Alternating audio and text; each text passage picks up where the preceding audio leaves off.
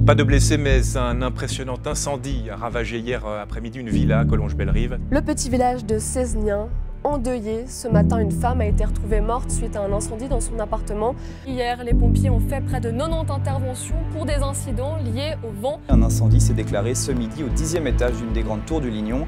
Un appartement a été détruit par les flammes. Hier soir, vers 22h, un important incendie s'est déclaré dans les comptes de la mairie de Satigny, en campagne genevoise. Trois sapeurs-pompiers se sont retrouvés piégés sous les décombres. Les pompiers ont été submergés d'appels jusqu'à dimanche soir. Malgré les dégâts, aucun blessé sur la terre ferme. Sur le lac, en revanche, une touriste a trouvé la mort.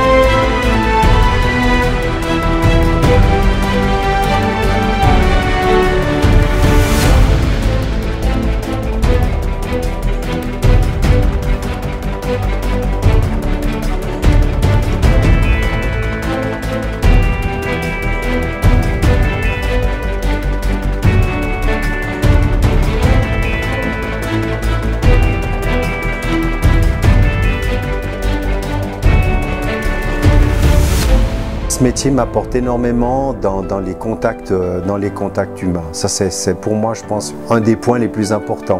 Toutes les actions que nous réalisons, on place toujours la victime au centre. Et qu'il faut qu'on soit prêt psychologiquement, qu'on signe aussi pour ça, c'est pour s'occuper d'eux. Ce qui m'a marqué le plus, c'est euh, une intervention sur le plan d'eau. On trouve un enfant décédé malheureusement. Il y a aussi des interventions qui ne sont pas faciles à vivre. Et oui, en une année et demie, j'en ai déjà vécu. C'était mercredi 9 euh, octobre 2019. Ce jour-là, mes collègues ont eu beaucoup de chance. C'est un événement qui n'est pas facile. Au final, ça nous touche, ça, touche nos collègues proches. Il y a tout qui s'effondre et je ne reviens pas euh, naturellement vers eux. C'est un métier qui est quand même un métier à risque. C'est vrai qu'on est quand même vulnérable. Je pense qu'il y a une fois que j'ai eu peur dans ma vie, c'était ce jour-là.